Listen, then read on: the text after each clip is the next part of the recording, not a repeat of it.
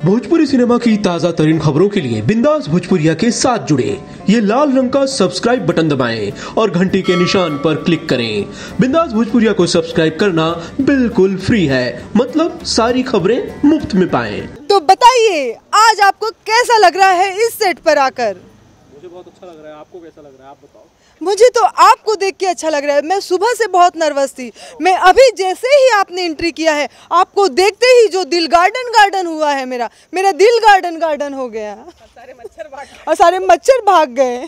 TV पे tele shopping आपने कभी देखी है? पहले मैं बहुत परेशान रहता था मैं बहुत दुखी हाँ, हाँ, हाँ। मैं वैसे बोली। आवाज़ लग रही है?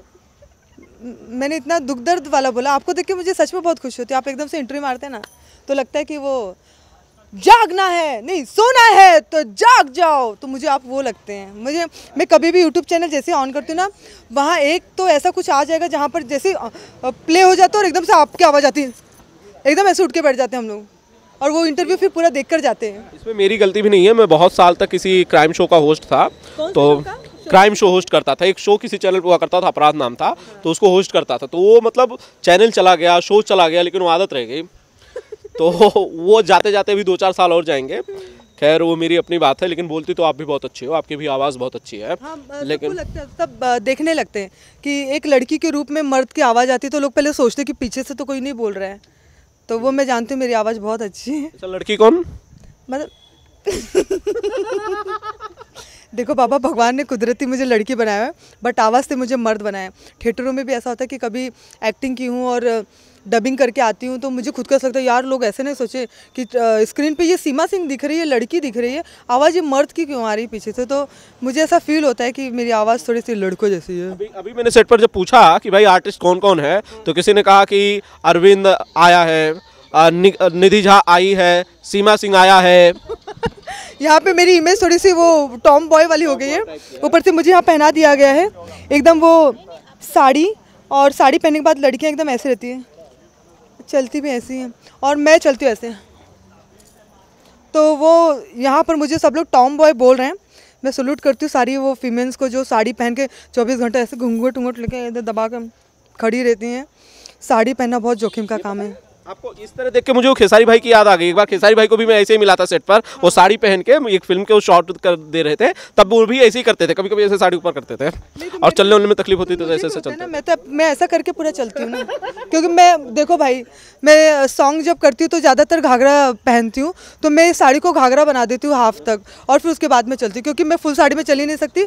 औंधे मुँह गिर जाऊँगी। मतलब आदत हो गई बेसिकली और शादी के बाद अगर कभी पति ने कहा कि भाई आपको साड़ी ही पहननी है तो तो शादी खतरे में आ जाएगी मुझे लगता है। नहीं मैं ऐसा पति नहीं ढूंढूँगी जो मुझे साड़ी पहनने के लिए बोलेगा। अच्छा मतलब साड़ी एक ऐसा मसला है जिसके लिए पति में भी बदलाव किया जा सकता है उसमें भी सिलेक्शन किया जाता है सिर्फ़ साड़ी के लिए। यस क्योंकि बहुत बड़ी चीज़ है ये। जब साड़ी पहनो तब ऐसा लगता है यार कितना बड़ा जोखिम का काम किया है मैंने। मैं सैल्यूट करती हूँ मुझे उन औरतों की याद आती है उन महिलाओं की याद आती है जो 24 घंटा साड़ी पहन के घर में रहती है। घूंघट डाल के खाना वाना पकाती है साड़ी पहन के। तो इतना आसान नहीं है साड़ी पहनना। हम यूपी बिहार के जितने लोग हैं उनके घरों में तो माताएँ ऐसे ही करती थी। बहनें अभी भी बहुत सारी वैसे ही करती हैं। सीमा नई जनरेशन की हैं। नहीं मैं इसलिए सैल्यूट करती हूँ ना मेरी मम्मी को भी मैं सबको सैल्यूट करती हूँ जो चौबीस घंटे साड़ी में लप, लपटी रहती हैं। गर्मी हो या ठंडी हो हाँ ठंडी के लिए अच्छी है साड़ी। उसके लिए ऑप्शन सोच सकते हैं। नहीं लेकिन कभी ऐसा नहीं होता कि पूरे कपड़े में लोगों ने देखा तो पूछते हैं बहन जी आपको कहीं देखा है ऐसा कभी हुआ है? बहन जी तो कभी नहीं बोला हाय राम इतने बुरे दिन ने आ अच्छा, गए। अपने घर में ऐसे पूरे कपड़े पहन के चले जाओ तो लोग पहचानते हैं वहाँ पे? पूरी तरह से आते हैं दरवाज़ा वरवाजा खोल देते हैं बेल बजाने के बाद। वहाँ तो पूरे कपड़े में ही पहचानते हैं। है वहाँ वहाँ तो हिम्मत ही नहीं हो सकती है। वहाँ तो हिम्मत ही नहीं हो सकती है कि ऐसे कुछ कपड़े पहन लें हम। ये कपड़ों पे बस डिस्कशन हो गया मेरा। मैं ये चाह रहा हूँ कि अब फ़िल्म के बारे में सारा जरा बताइए। ये गाड़ी आपकी है? भाड़ी की वैसे कैसी लग रही है? नहीं बहुत अच्छी लग रही है। इसके लिए कॉम्बिनेशन बहुत अच्छा है। लाल मारुति यही है। ये डेंजर और किसी और की है बट बहुत अच्छा फील हो रहा है मुझे। मैं भी एकदम टिक के खड़ी हुई हूँ। अच्छा सीमा आपको ड्राइविंग आती है? गाड़ी चलाने आती है आपको? मेरे को आधी अधूरी आती है। मैं तो बोलती फीमेलों को गाड़ी ही नहीं चलानी चाहिए। क्यों? ऐसा कंट्रोवर्शियल स्टेटमेंट आप क्यों दे रहे हो? नहीं ऐसा नहीं मैं ये नहीं कर रही हूँ। मैं अपना बोल रही हूँ कि गाड़ी में चलाती हूँ लेकिन हम लोगों का प्रॉब्लम ये है ना कि हम लोगों को पचास कॉल आते हैं ये हैंडल करना होता है ये करना होता है इतना कॉल अच्छा चक्कर में हैंडल छोड़ दिया। हाँ तो ये ना हो अ, कुछ कुछ मैं जैसे ये पाँच उंगली एक जैसी नहीं होती है ना तो सारी फीमेल एक जैसी नहीं होती हैं। कोई बहुत स्ट्रांग होती है एकदम बिंदास गाड़ी चला के चलती हैं। मैंने काफ़ी फीमेल को देखा है जो गाड़ियाँ चलाती हैं तो मुझे अच्छा भी लगता है लेकिन मैं खुद बहुत डरती हूँ इसलिए डरती हूँ क्योंकि मेरा नेचर है थोड़ा सा कि गाड़ी चला रही थी और अचानक रिंग बजा ये नहीं सोचा कि दो मिनट बाद देखो। और ऐसे में अगर दुर्घटना हाँ तो देखिए मेरी वजह से सामने वाले को नुकसान ना हो। मेरा नुकसान एक बार मैं बर्दाश्त कर लूँगी लेकिन मेरी वजह से सामने वाले को ना हो मैं इस वजह से गाड़ी नहीं चलाती हूँ। अच्छा खाना बनाते हैं सीमा घर में? हाँ बहुत अच्छा आइए ना कभी खाने पे। बिल्कुल क्या क्या क्या क्या बनाना आता है सीमा सिंह को? बताइए ज़रा मेन्यू को मैं सुन लूँ फिर डिसाइड करते हैं हम्म, आपको क्या खाना है ये बताइए मुझे तो सब कुछ आता है सब मतलब सब। हम्म, समो समोसा आलू पराठा। हम लोग एक्चुअली बहुत सारे सेट्स पर समोसा ही खाते हैं तो समोसा ज़ुबान को लग गया है। नहीं नहीं वो यूपी बिहार की निशानी समोसा।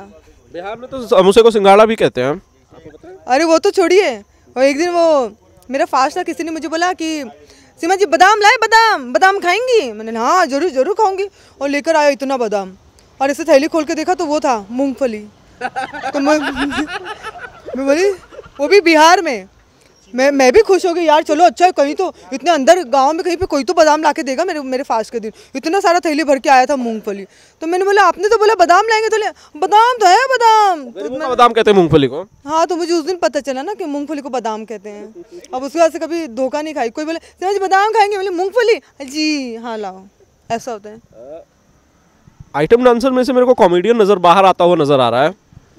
एक्चुअली शौक ज़्यादातर मुझे सब पूछते हैं कि आप क्यों एक्टिंग नहीं करती क्यों एक्टिंग नहीं करती? अ, बोलते हैं ना जो दिल से चीज़ें निकले वो करनी चाहिए। एक शौक रहा हमेशा डांस का और डांस करते समय कभी कभी प्रेशर महसूस नहीं किया कि हाँ इसके बाद ही करना इसके बाद ही करना ऐसा। मैं फ्री होकर जो काम कर सकती हूँ वो था आइटम नंबर और उसके अलावा जो मैंने फील किया है कि अगर एक्टिंग करना चाहूँगी तो सिर्फ़ और सिर्फ़ कॉमेडी में क्योंकि कॉमेडी मुझे ऐसा होता है कि जैसे आनंद जी के साथ मैंने इतना काम किया है कि सेट पे कभी डायलॉग याद करने की ज़रूरत नहीं पड़ती कॉमेडी अपने आप हो जाती है। तो वो चीज़ बहुत ज़रूरी ज़रूरी है कॉमेडी के अंदर कि आप दिल से करो तो बहुत अच्छा होगा। तो इसके आगे अगर मैं आइटम के अलावा अपना कैरियर देख देखती हूँ तो कॉमेडी में देखती हूँ। और आने वाले समय में काफ़ी बड़ी बड़ी फ़िल्में मैं कर रही हूँ कॉमेडी में।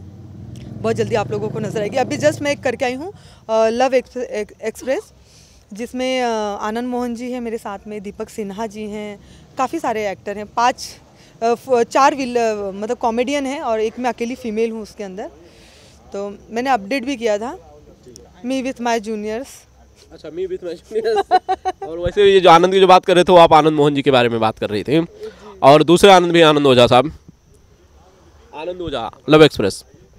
Yes Anand Ojha ji जिनकी जो एक्टर हैं फ़िल्म में। लव एक्सप्रेस के हीरो हैं।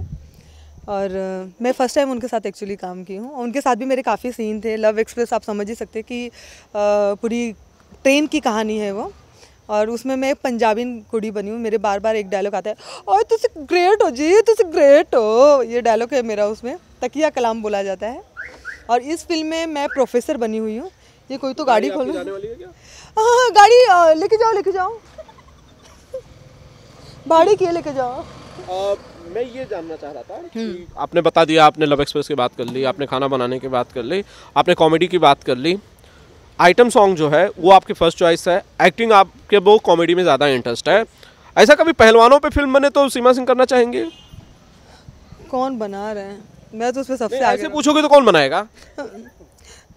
नहीं नहीं मतलब मेरा बोलना ये है कि हाँ मैं ज़रूर करना चाहूँगी। वैसे एक फ़िल्म मेरी आ रही है पहलवान लेकिन उसमें मैंने आइटम नंबर किया है।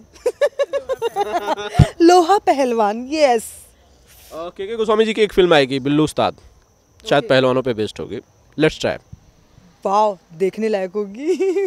के के जी उसमें पहलवान बने हुए हैं। सीमा जी जरा मुझे बताइए आने वाली फ़िल्मों के बारे में। हमने आपको गोविंदा के साथ पिछली बार बॉलीवुड फ़िल्म में देखा था। आ गया हीरो में। हालाँकि वो कब आई कब गई वो अलग बात है। लेकिन मैं ये मतलब ये मेरी इज़्ज़त थी या बेइज्जती की आपने फ़िल्म के बारे में बता रहा था फ़िल्म के बारे में बता रहा था। आपका गाना नो डाउट अच्छा था पसंद आया आपने। बहुत अच्छा बोलते ना, कान ऐसे नहीं पकड़ के ऐसे पकड़ो ज़्यादा अच्छे रहते हैं। नहीं ये तो खैर बात फ़िल्म चली नहीं गोविंदा जी की ये अलग बात है। लेकिन क्या हम फिर से सीमा को बॉलीवुड के किसी स्टार के साथ नाचते हुए देखेंगे? जी या सीमा जी के साथ वो नाचेगा? उम्मीद तो ये करती हूँ कि मैं किसी के साथ नाचूं। दो हज़ार अठारह का एंड होते होते कुछ अच्छी न्यूज़ आप लोगों तक दूँगी मैं हिंदी के लिए। बोलते हैं ना कि बोलने से अच्छा करके दिखाओ मैं उसमें ज़्यादा उम्मीद yes. करती हूँ। तो चीज़ें होंगी सबके सामने अपने आप नज़र आएँगी। Thank you so much Seema ji बहुत बहुत शुक्रिया। थैंक यू सो मच आपने बहुत अच्छी अच्छी बातें की इसके लिए बहुत बहुत शुक्रिया। Thank you thank you thank you thank you thank you और आप इसी तरह से रहो आपकी कोई सीमाएँ ना हो और इसी तरह से बिंदास बोलो क्योंकि चैनल मेरा बिंदास भोजपुरिया है। बिंदास भोजपुरी देखने वाले सभी दर्शकों को मेरा ढेर सारा प्यार। बाय मैं सोच रहा था कहीं कैमरे के पीछे मेरा कैमरामैन विनोद ना बेहोश हो जाए। Thank you so much Mumbai से आनंद कमलेश की रिपोर्ट।